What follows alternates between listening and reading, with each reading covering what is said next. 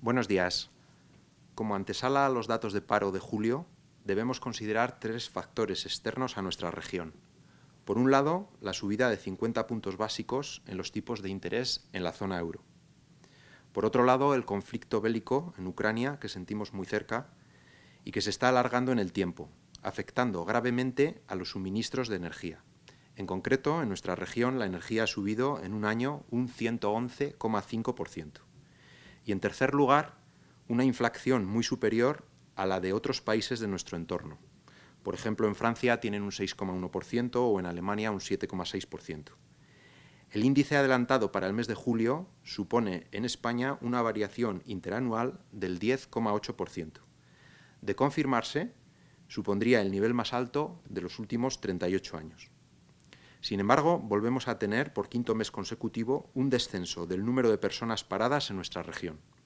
Son 117.449 los castellanos y leoneses registrados en el paro.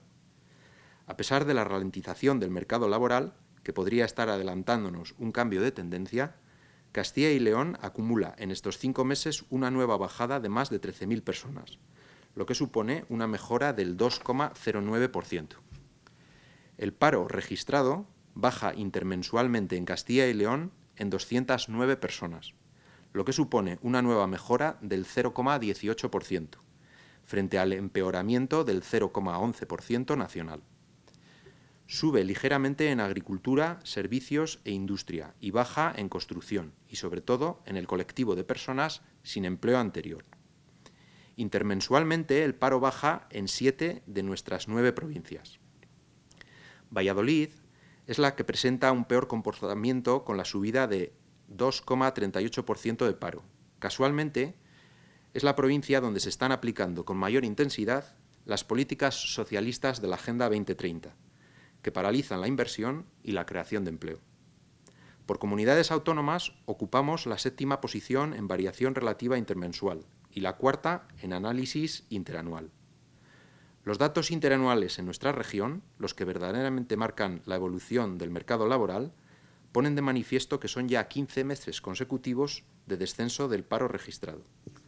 Interanualmente desciende el paro registrado en Castilla y León en casi 31.000 personas, es una mejora del 20,68%. Se trata así el mejor mes de julio de toda la serie histórica. La media española se queda en una mejora de tan solo 15,59%, con lo que es superada por nuestra región en más de 5 puntos. Esta recuperación interanual del empleo se pone de manifiesto en todas las provincias de nuestra comunidad, en las que el paro registrado desciende interanualmente. Todos los sectores cierran julio de este año con menos parados que en el mismo mes del ejercicio anterior.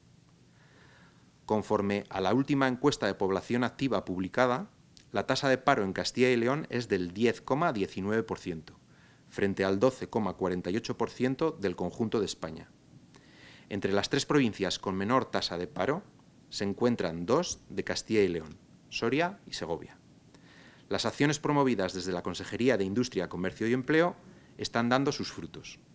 Continuamos trabajando en programas que fomentan la formación y la contratación, para de esta manera seguir disminuyendo el número de parados en Castilla y León. Hasta la fecha, se han publicado convocatorias por 57 millones de euros, de los que pueden beneficiarse 40.000 castellanos y leoneses. Estos programas incluyen líneas de empleo local destinadas a ayuntamientos y diputaciones y líneas mixtas para fomentar el empleo en distintas empresas de la región. La Consejería quiere redoblar su esfuerzo en materia de empleo para ajustar las líneas de ayuda a quien más lo necesita, incluidas todas las víctimas de violencia intrafamiliar. Para el mes de agosto, y con el fin de continuar con la tendencia creciente de los últimos meses, esta consejería va a invertir más de 83 millones de euros que fomenten la empleabilidad y beneficien a 56.000 ciudadanos en Castilla y León. En cuanto a la contratación, los contratos laborales registrados en Castilla y León en el mes de julio de 2022 ascienden a 77.935, de los que el 66,46% son temporales. En términos intermensuales, los datos son buenos porque subimos casi un 2%, lo que supone que hemos registrado casi 1.500 contratos nuevos este mes, frente al conjunto de España, que baja un 6,41% su contratación. Es alarmante la cifra interanual a nivel regional y también nacional, porque en ambos casos estamos muy por debajo respecto al 2021, cuando no existía la reforma laboral. El número de trabajadores en situación de ERTE ha bajado en 489 personas respecto al mes anterior. Para las 1.194 personas que siguen en esta situación, la Consejería tiene una línea de complemento salarial con unos requisitos muy accesibles para poder ayudar a las economías domésticas de estos trabajadores. Por último, hay que destacar que el número de autónomos este mes ha bajado en 63 personas, lo que supone un 0,03% mientras que en el resto de España es 0,31%, eh, es decir, 10 veces más. Como desde la Consejería también queremos fomentar y consolidar el trabajo por cuenta propia, durante el mes de julio hemos lanzado la tarifa Plana Plus, que deja prácticamente a cero euros la cuota de autónomos durante los meses subvencionados. Y ayer mismo lanzamos la línea de espíritu emprendedor para fomentar trabajo autónomo y de la economía social. Muchas gracias.